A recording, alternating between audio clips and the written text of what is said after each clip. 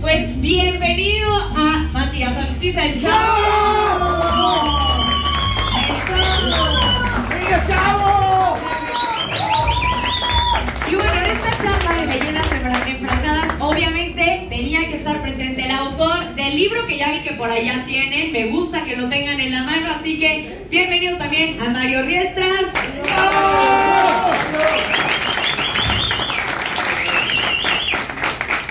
Un gusto tenerlos a todos ustedes por aquí y va a ser la misma dinámica de la vez pasada. Está también la transmisión en vivo en la página de Leyendas Enfranjadas, que si ustedes todavía no la están siguiendo, por favor, se meten a Instagram, la siguen porque ahí está la transmisión en vivo y ahí nos van a estar haciendo preguntas, ¿ok?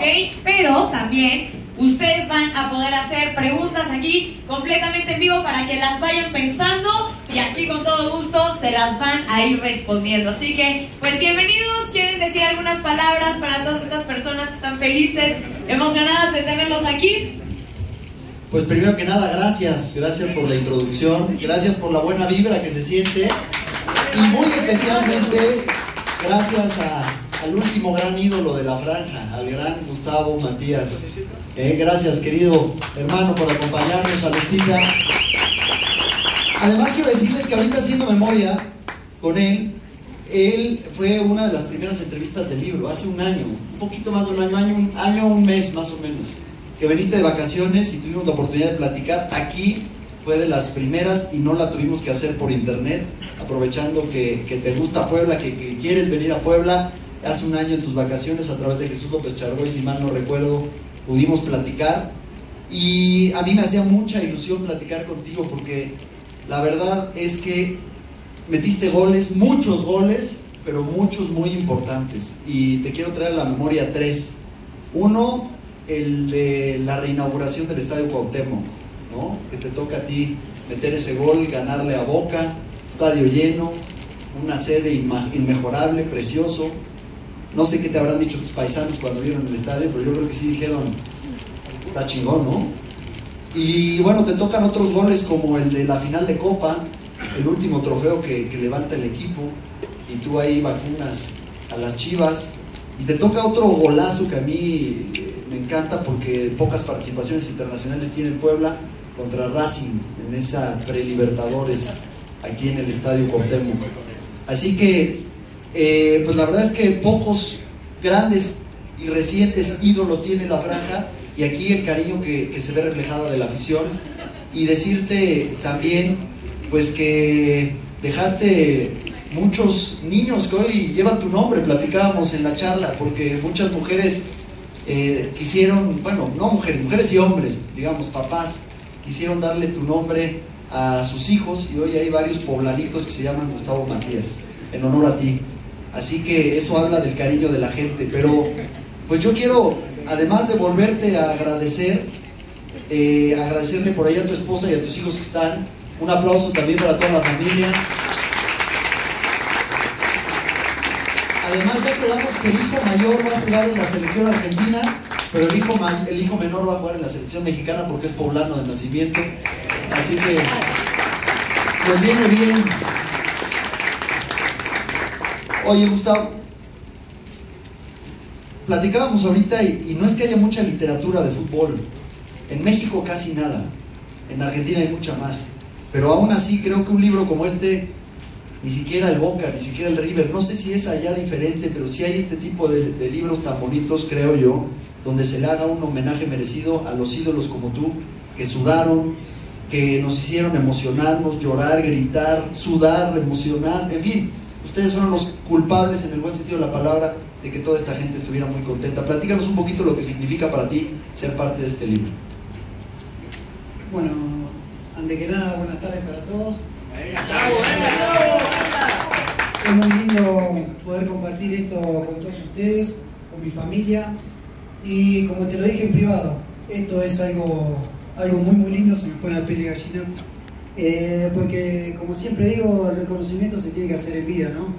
Eh, de nada sirve cuando uno no está ahí eh, los reconocimientos. Yo creo que este libro es algo muy lindo para todos los jugadores, para toda la gente que se encuentra dentro del libro, para técnicos y bueno, la verdad que hoy lo podamos disfrutar te lo dije a vos, es algo muy muy lindo y bueno, ojalá que toda la gente poblana lo pueda, lo pueda tener porque va a ser un recuerdo para toda la vida. La verdad es que sí, tener en nuestras manos ese libro es algo afortunado, pero mira, ya tenemos preguntas aquí completamente en vivo. Ahorita Mario ya nos dijo cuáles casi casi fueron sus goles favoritos, te los recordó, pero aquí preguntan, ¿cuál fue un gol que tú no olvidas estando en el pueblo? Bueno, la verdad, lo estábamos hablando recién, para mí son todos los goles iguales, eh, los grito a todos de la misma manera, pero bueno, hay sí goles importantes como lo de la final de contra Chivas, yo creo que, que esos fueron muy importantes, tanto en lo personal, en lo grupal y, para la institución. Eh, como vos dijiste, por ahí es el último título que ganó el club y la verdad que, es algo muy lindo. Después de la reinauguración del estadio también fue una noche soñada, una noche hermosa, donde se inauguró un estadio nuevo con, para mucha más capacidad, eh, puedo estar lleno, la verdad que fue, fue algo muy lindo con un equipo tan importante como es Boca de Argentina, poder convertir, ganar y que todo sea una fiesta, yo creo que ese también fue muy importante. Pero bueno, como ya te decía antes, para mí todo fue importante, lo grité de la misma manera, los primeros dos contra Santos, hasta el último que me tocó estar acá en el club. Padrísimo. Y Mario, ¿tú alguno que de los que nos contó que digas, yo me acuerdo que estaba en este lugar, lo estaba viendo con tal persona, lo grité, lo disfruté, alguno que tú también hayas sentido como si tú lo hubieras metido casi casi? Bueno, la verdad es que me tocaron esos, estar ahí en el estadio, el, el- el la reinauguración del Cuauhtémoc y el otro en Ciudad Universitaria, porque la final fue ahí, estaban justamente en la remodelación del estadio, eh, y la verdad es que se le dio bien al Puebla ese, esa cancha, pero a mí, digamos, en manufactura me gusta muchísimo el que le haces a Racing, ¿no? de tres dedos. Que las tomas creo que no le hacen justicia, porque como que estaba descuadrado, pero los que estuvimos ahí vimos que fue una genialidad, ¿no? ¿Cómo la recuerdas esa? Sí, sí, porque yo creo que todos esperaban el centro porque estaba muy, muy lejos, estaba casi a la altura del banco de suplente. Y bueno, le pegué fuerte por abajo al primer palo y yo creo que el arquero tampoco se la esperaba. Y la verdad fue, fue un lindo gol que se gritó mucho. Eh, una lástima, después terminamos empatando 2 a 2 y sabemos que en Argentina es muy difícil. Pero bueno, eh, fue lindo la participación de- del Club Puebla. eh, a nivel internacional, ¿no? La verdad que fue, fue muy lindo poder ir a Argentina, representar a Puebla y hacer el esfuerzo. Estuvimos cerca, lamentablemente no se dio, pero yo creo que feliz por, eh, por, eso- por esos partidos, ¿no? Perfecto, muchas gracias. La verdad ocupan un lugar muy importante para mí, tanto en lo futbolístico como en lo extra futbolístico. Tengo hijos mexicanos, así que la verdad tengo hijos poblanos. Eh, ya creo que eso lo dice todo, ¿no? Tengo un amor muy grande por, por esta ciudad, por este club, por la gente que la verdad que siempre a todos lados que voy eh, me brinda mucho cariño. Bueno, eso es algo muy lindo. Eh, y eso quiere decir que uno que uno hizo las cosas bien dentro de la cancha, ¿no? Y que te lo reconozcan, eh, eso es lo más lindo que te puede pasar como futbolista. Oye, y ahorita que estás de visita llegas y vienes por qué comida? ¿Unos tacos árabes o no te tocó una temporada de chiles en nogada, pero ¿cuál es esa comida que se robó tu corazón? Bueno, la verdad no somos de comer mucho picante, sí, los nenes por ahí comen mucho más picante que nosotros, porque fueron al jardín, hicieron todo acá, entonces ellos sí, pero no, bueno, eh, justamente anoche comimos unos taquitos, pero sin picante. Ok, muy bien. Y después de local eh, ganamos 5 a 0 y esa noche me tocó hacer 4 goles. Y bueno, yo creo que desde ese momento eh, me vio la gente del fútbol mexicano. Eh, antes de llegar al Puebla tuve una conversación con el Morelia, donde no se dio, y terminé llegando a Puebla. La verdad que muy feliz de mi llegada. Eh, siempre, como siempre lo digo, se lo digo a los más jóvenes, uno siempre tiene que aprovechar las oportunidades, los partidos, porque no sabe quién te puede estar mirando desde afuera, ¿no? Entonces, aprovecharlo como si fuera el último. Traté siempre en mi carrera de hacerlo de esa manera y tuve la suerte, bueno, de, de ese día, como te dije, convertir un gol eh, acá en México y cuatro allá en, en Ecuador. Y yo creo que después de esa Libertadores me tocó llegar a Puebla. Padrísimo. Oye, qué importante. Saludo con gusto. Toño Santos para que tu hermano. Bueno, todos sabemos que ha sido el último gran referente que ha tenido el Puebla. No ha llegado otro, todavía ese, ese espacio, ese lugar, ¿no? Eh, te pregunto, ¿te crees con la condición física ahorita como para rescatar al equipo en el nivel que tiene ahorita? Bueno, Antonio, muchas gracias por tus palabras. Eh, la verdad me siento muy bien, con muchas ganas, a pesar de mis 39 años. Eh, pero bueno, hay cosas que no dependen de uno. Eh, hablé hace poco con el presidente, con el director deportivo. No vengo por el dinero, la verdad no me interesa el dinero, solamente venía para dar una mano de donde me toque y bueno, eh, lamentablemente por ahí me dijeron que no había lugar, pero se entiende, también se entiende porque uno también por ahí es grande y buscan otras cosas, pero siempre voy a estar dispuesto al pueblo.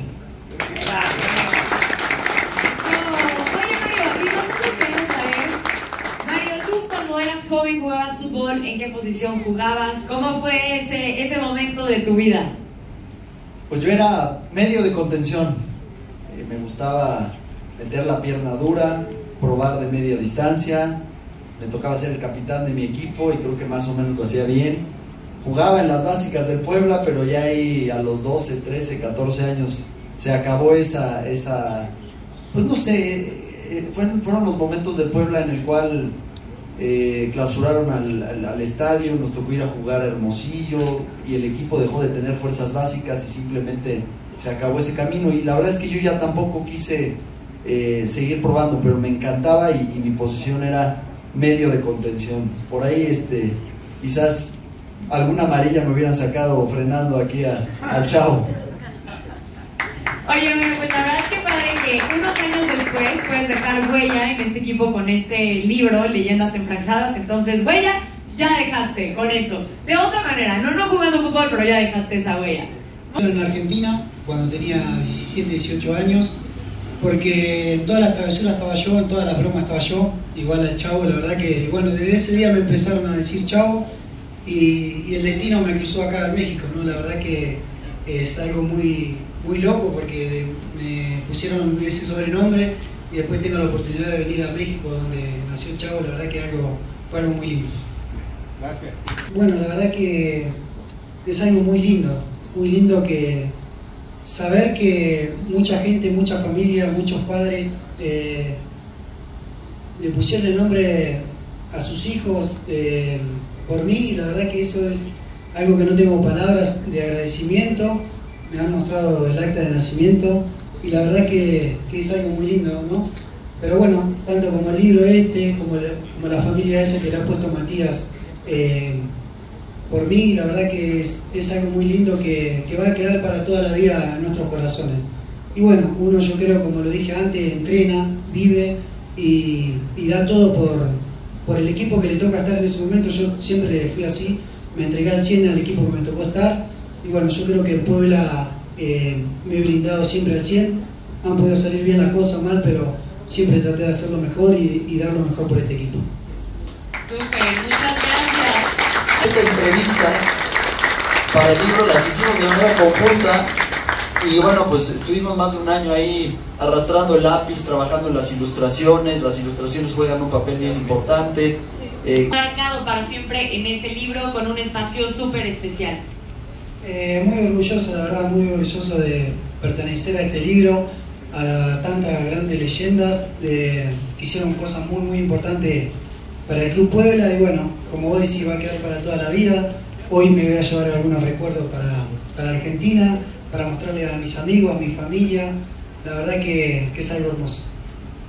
¿Preguntas? ¿Quién tiene preguntas por acá? Mi compañero que, que más compartí, porque también jugué con él en Argentina, Paco Erpen, Paco jugué en Atlas y, acá en Puebla, eh, pero bueno, hay mucho, a lo largo de mi carrera hay muchos eh, amigos que me llevo, que me ha dado el fútbol y muchos conocidos. La verdad, a veces es difícil ser amigo de todos adentro de un plantel, pero como siempre digo, mientras dentro de la cancha seamos familia, seamos hermanos, después eh, cada quien puede hacer lo que quiera, ¿no? Pero sí, la verdad que yo creo que Campe fue uno de los mejores amigos que me dio el fútbol. Yo la verdad es que no, soy de cábalas, pero siempre ando cargando un rosario, eso sí. Y pues yo creo que hay que encomendarse a la Virgencita para estar bien. Y bueno, eso es realmente lo que hago, nada más. Pero, y abusando del micrófono, oye chavo, tú eras delantero y metías goles, y aquí metiste un chingo de goles. Pero alguna vez te expulsaron. Platícanos cuando te expulsaron por haberte leñado a Lionel Messi. Y bueno, a veces me tocaron las malas también. Eh, sí, fue Barcelona-Jerez, en cancha de Barcelona, cancha mojada. Obviamente justo, bueno, esa, esa semana habíamos estado hablando con mujer eh, de que a Messi no se le podía tocar. Y ahí fui yo, me barrí la cancha mojada. Y bueno, él me pega a mí en la pierna y se cae. Pero bueno, obviamente, con 120 mil personas, Leo Messi, eh, el árbitro a 20 metros mío vino corriendo y me sacó roja. Pero bueno, al, próximo partido pude jugar porque se vieron los videos que no fue nada y por suerte pude jugar, pero bueno, ese partido me lo perdí. Lo que sí, bueno, después al final del partido pude cambiar la camiseta con él. Bueno, muchas gracias por tus palabras. Eh, mi ídolo siempre fue Diego Armando Maradona. La verdad, tuve el placer de conocerlo, de hablar con él. Tengo un video que él me mandó, muy muy lindo, lo tengo guardado. Eh, y bueno, eh, y acá el fútbol mexicano, y yo creo que Guardado, eh, el Chicharito, son jugadores muy importantes muy representativos como Rafa Márquez, que tuve la oportunidad de ser compañero. La verdad que son grandes referentes y bueno, ojalá que el fútbol mexicano pueda, pueda llegar en un mundial donde se merece, que nunca pueden pasar esa, esa barrera. Y bueno, ojalá que el próximo mundial eh, esté convencido porque creo que el material está y bueno, desearle lo mejor de todo corazón. Eh, justamente hice una entrevista hace unos días y lamentablemente por los resultados piensan que el equipo está mal y no es así. Convierte goles todos los equipos, eh, todos los partidos, que eso es difícil, pero bueno, eh, también le convierten y ese es por ahí el problema que hoy está teniendo el equipo, ¿no?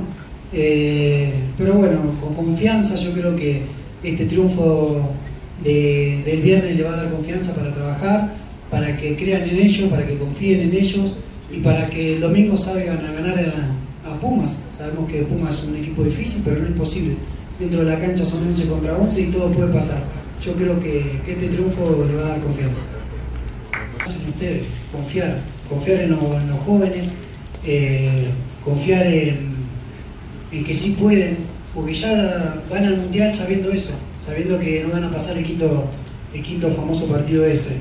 Entonces, cambiar el chip decir, este año vamos por todo, vamos a pasar eso y vamos a llegar mucho más lejos. Yo creo que la, el, el, techo se lo ponen ustedes diciendo eso, no confían, no creen en ustedes. Eh, la gente ya se, se, cree eso, ¿no? que van a llegar hasta ahí, listo. Entonces yo creo que hay que cambiar la mentalidad de tanto del fútbol mexicano como la, las personas y el periodismo, todos y, empezar a confiar que sí pueden, porque tienen grandes jugadores, porque tienen grandes equipos y bueno, como ya te lo dije antes, yo creo que, que este año se le va a dar. Bueno, eh, no, el acercamiento con la directiva no. Eh, el partido no lo sé, no lo creo.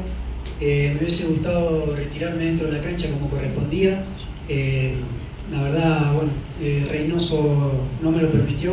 No me dejaron entrar al vestuario, que eso es algo que me dolió. Porque la verdad yo desde el primer día hasta el último que estuve me entregué siempre al máximo a este club y la verdad que eso sí me molestó mucho, eh, el trato que me dieron al final, de no poder despedirme 10 minutos dentro de la cancha de la gente de Puebla. Eh, pero bueno, son anécdotas, son cosas que, que, van a quedar de lado. Siempre me voy a llevar los lo lindos recuerdos, todos los goles que hice, todas las alegrías que viví, que vivimos juntos. Tengo uno o dos murales acá en la ciudad que para mí eso es un orgullo, es muy lindo y nada más, me quedo con eso, me quedo con lo lindo. El tiempo dirá, eh, la vida da muchas vueltas y uno nunca sabe qué puede pasar más adelante. Yo me voy tranquilo conmigo mismo porque sé que hice las cosas como correspondían. Pueden salir bien, pueden salir mal, como siempre lo digo, pero siempre me traigo al máximo a este club, a esta institución. Y como te digo, eh, uno no sabe la vuelta de la vida que puede pasar. Si me tocará venir algunos años más adelante como aficionado, como entrenador o como sea, pero la verdad que me voy muy, muy tranquilo y con la frente bien alta de, de Puebla. que regrese el chavo tío.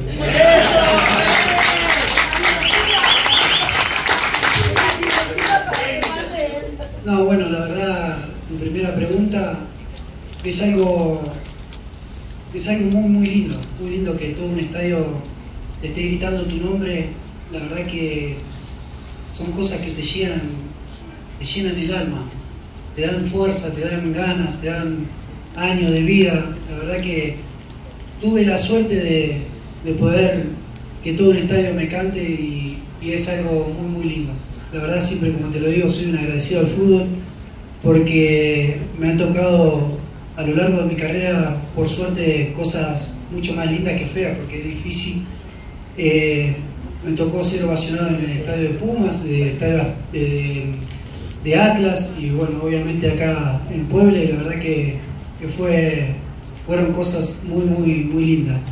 Y en cuanto a lo segundo, eh, bueno, la verdad que ahí ya es más profundo el, el, problema, ¿no? Yo creo que eso lo tendría que ver la directiva, el cuerpo técnico y los jugadores eh, para, para, armar un gran equipo para poder pelear. La, la verdad que los, últimos años han entrado a liguilla, hacía muchos años que, que no tenía un presente como este, hoy tuvo un mal arranque, la verdad, pero bueno, siempre hay que confiar, como siempre eh, dijimos, hay que llegar a la liguilla y después arranca otro torneo cualquiera le puede ganar a cualquiera y ahí ya arranca otro torneo nuevo. Así que todavía las esperanzas están. Mientras los cálculos matemáticos den, eh, hay que seguir peleando.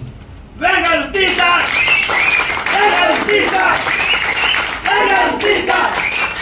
¡Venga justicia! ¡Venga justicia!